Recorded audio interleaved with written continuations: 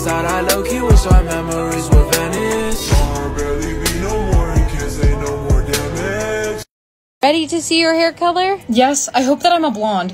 Um, I don't. You look kind of ugly when you have blonde hair. Okay, ready? Yeah. Three, two, one. What is that? Uh, why is it purple? I have no clue. I've never seen that. Oh, great. You need to cover it up.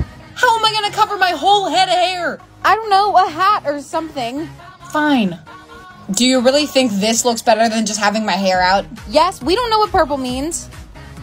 Um, hey, baby. Hey guys. What's with the hat? Did you get a bad hair color? Uh, no, I just have lice. Ew, you have lice? Yeah, really badly. They're like jumping everywhere. Don't come near me. I don't want them. Mary's wearing a wig. Yeah, that's why they're gonna check us. They're gonna what? They have to put us into our groups. Um, are you okay? no, I'm good.